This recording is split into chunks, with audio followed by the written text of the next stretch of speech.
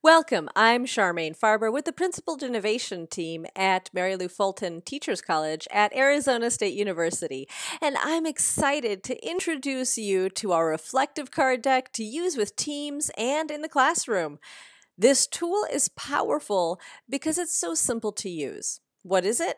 The Principled Innovation Reflective Card Deck is filled with powerful questions to help you and your team with reflection, conversation, and decision making. And just a quick note that Principled Innovation, or PI, is a framework to help you and your team to imagine new concepts, catalyze ideas, and form new solutions guided by principles that create positive change for humanity.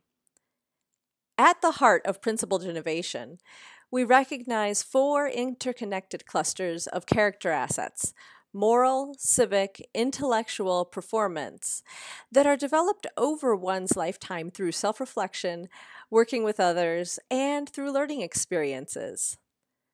The eight practices of principled innovation are demonstrations of assets in action. But don't worry, you don't have to be well versed or get principled innovation in order to benefit from these powerful questions in the deck. Concepts surrounding collaboration, reflection, design, and character development can sometimes be abstract, but often affect the way we communicate and can contribute to our daily range of emotions. We created the deck to easily explore these concepts and engage the principled innovation framework through using simple yet powerful questions aligned with each practice. Let's take a deep dive into the Principled Innovation Reflective Card Deck. The back of each card displays an infographic of the four PI character assets broken into two practice definitions. The deck also includes a couple of explanatory cards to help you best understand the PI framework.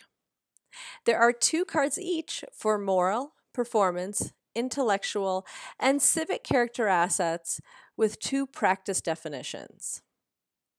All of the questions in the deck are descriptive and not prescriptive, and we offer writing cards so that you can add your own questions to the deck. Let's thumb through some of the engaging questions that you and your team can use to guide critical conversations for reflection or to invigorate classroom discussion. Some of my favorite questions are What are we missing? Am I recognizing and acknowledging what others are experiencing? And how might we be more resilient as an organization? Diving in and using the card deck questions in your personal or professional life is a great way to get to know principled innovation from the ground up. We offer some example activity cards for how to use the questions in the card deck. The first activity looks at how to use a single question to start a conversation. As a real world example of this activity, a professor in the Mary Lou Fulton Teachers College asks her students to choose a framing question from the civic asset of the card deck before they start a hands on community based project.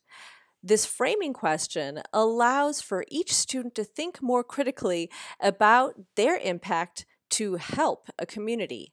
This professor explains that often students need to explore their own personal biases and lack of understanding of the challenges a community faces before using the reflective card deck to reflect and discuss. Other activities included in the card deck help you to reflect personally and professionally, as well as to guide learning experiences to help humanity. And now it's your turn. Please email us at pi at asu.edu to get your analog or digital card deck today. We are also interested to hear how you use the cards and your good idea for the next activity that we can publish in our next iteration of the Reflective Card Deck. Again, I'm Charmaine Farber with the Principled Innovation Team at the Mary Lou Fulton Teachers College. Thanks for watching.